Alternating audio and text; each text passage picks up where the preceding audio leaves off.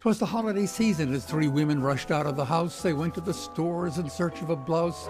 The weather that day was cold and frightful. This trip to the store was anything but delightful. And there on the rack, the first woman did see the blouse she wanted, but only in size three. What could she do? It surely won't fit. It appears her Christmas list just took a hit.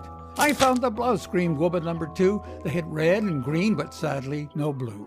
The color she wanted just wasn't there. Unfortunately, her cart will surely be bare. Woman number three arrived early at six o'clock. She was quite disappointed. They were all out of stock. The doorbuster deal didn't work out so well. She went home empty handed, not feeling so swell. Three other women were nestled at home in their beds on shop.com with millions of name brand products to choose instead. They shopped with joy, and the blouses were slick, and the cashback earnings climbed pretty quick. Listen up, my friends, there's a lesson to be learned. If you want easy holiday shopping without getting burned, don't go to the stores. Avoid brick and mortar. Visit shop.com and simply click and order. Now daily deals, now e-gifts, now price alerts and cashback on smartphones, on tablet, on laptop and iMac. Dodge the crowds and avoid them all. Now shop away, shop away, shop away all.